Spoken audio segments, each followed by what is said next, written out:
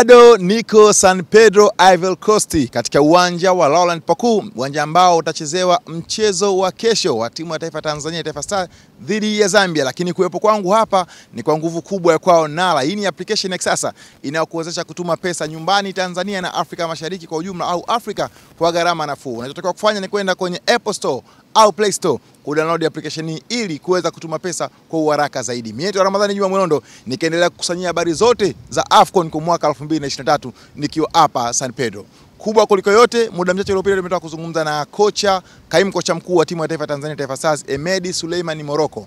Amezungumziaje maandalizi kuhusiana na kikosi chake, lakini vipi je, baada ya kukaimishwa yeye tutarajia mabadiliko makubwa kwenye kikosi cha kwanza kuelekea mchezo wa kesho? Ya, tumerudi kwenye pitch. Nafikiri maandalizi mazuri, tumerudi kwenye pitch, tumejaribu kusawazisha kile ambacho kilionekana katika mchezo wa kwanza. Of course inauma kupoteza mchezo wa kwanza uh, lakini hatuwezi uh, kuzungumzia tena. Tumerudi, tumesawazisha kile ambacho kilionekana.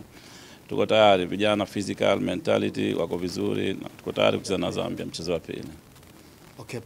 Uh, kama nafasi yako ya kocha ambapo unakwenda kuongoza timu, tutegemee mabadiliko kwenye kikosi?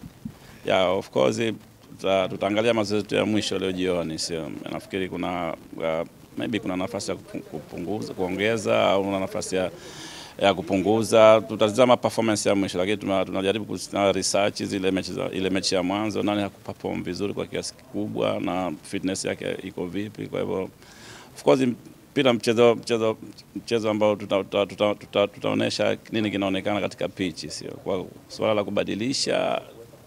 Acha tunasubiri ma, mazoezi ya mwisho leo.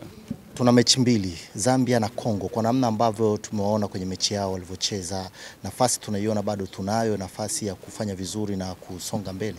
Of course nafasi ipo, tumecheza mechi moja, kundi letu bado liko wazi, kila mmoja ana nafasi, sio? Kwa hivyo that's why tumerudi kujipanga kuhakikisha hii mechi ya pili tunapata matokeo ili kuweka matumaini yetu hai, sio? Kwa hivyo tunaomba Tanzania atuombee, tutapigana kadri ya uwezo wetu kuhakikisha kwamba tunapata matokeo ili kuweka matumaini yetu hai. Uzoefu wako kwenye michuano kama hii, kwa sababu wewe sio mgeni, inaweza kuwa pia ni silaha ya kuweza kutusogeza sisi hatua fulani.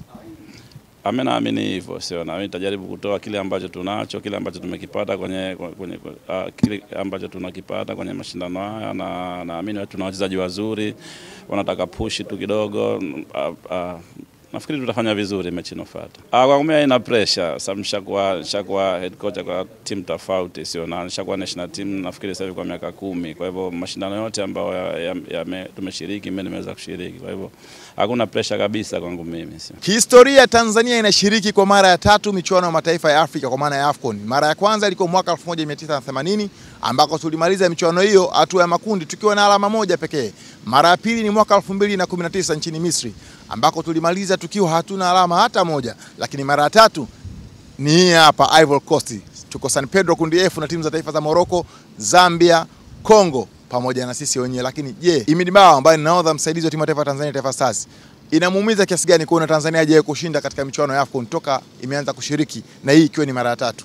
Nafikiri inaweza kuwa motivation na inatakiwa kuwa motivation kwa sababu kwetu sisi pia ni deni na ni kitu ambacho kinatuumiza, so tunafanya kila kitu ndani ya pawa yetu kuweza kuhakikisha tunaweza kupata points au ushindi katika AFCON, na nafikiri ndio lengo ya AFCON ambayo imetuleta kwa sasa, so tuko tayari. Nafikiri kesho tunaweza tukapata hicho. Mechi ya kwanza dhidi ya uh, Morocco tunapoteza tatu bila. Tuna mechi mbili ambazo pia zinaweza zikatupa nafasi ya kwenda hatua inayofuata. Hali ya wachezaji kwa maana kambini, wachezaji wenzako iko vipi, na unawazungumziaji wapinzani wetu Zambia na Kongo ambao tuko nao mbele yetu? Nafikiri wachezaji, kila mchezaji baada ya yale matokeo ya kwanza watu walikuwa down kidogo uh, usiku ule wa game, lakini the next day tulivyokuwa mazoezi watu walikuwa positive sana. Nafikiri wako tayari kwa challenge inayokuja. Tukizungumzia wapinzani wetu um, Congo na Zambia ni timu nzuri, timu strong, lakini nafikiri uh, ndio maana ya mashindano, yani unakuja huku kukutana na watu waliokuwa bora. Kwa hiyo na sisi tumejiandaa kwa hilo, nafikiri tutaweka mchezo mzuri na kupata matokeo mazuri katika mchezo wetu unaokuja. Ya, nafikiri ni sehemu nzuri, ni sehemu nzuri sana ya kucheza mpira wako. Uh, ni stage nzuri, ukicheza AFCON ni stage kubwa kabisa ya, ya mpira kwenye international level so wanatakiwa wawe tayari na yote atayepata nafasi, anatakiwa aichukue na aonyeshe kwa nini yuko hapa na anastahili kuwa hapa. Kutoka hapa San Pedro katika dimba la Laurent Poko, mimi ni Ramadhani Juma Mwilondo wa Ayo TV.